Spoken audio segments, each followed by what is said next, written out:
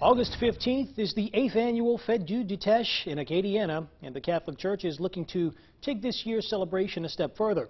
News 10's Zane Hogue joins us with more information and finds out why many feel that August 15th should be a state holiday. Zane. Dalford, here at the Catholic Diocese of Lafayette, they're hoping to see the annual Fête Dieu du Teche be declared a state holiday. Blue Rolfus, the Director of Communications at the Catholic Diocese, feels this day would benefit from the status of a holiday to help Acadiana deepen its faith in an environment outside of church walls.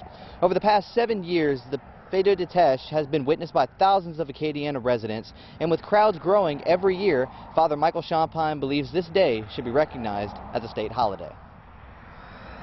There's only about six or seven of them a year, but they're holy days of obligation. Uh, it's, it's such an important feast day and, and mystery that we were obliged to go to Mass that day. And we live it like a Sunday, which means that we pray, we spend time with the family, uh, we don't work, we just kind of contemplate the fruits of our labors that God has allowed. So to be able to push the envelope and get enough people doing this, where locally, so look, we got so many people taking vacation day on, uh, you know, on August 15th. Let's just make it a holiday.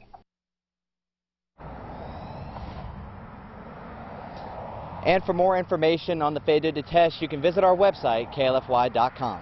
In Lafayette, Zane Hogue, KLFY News 10.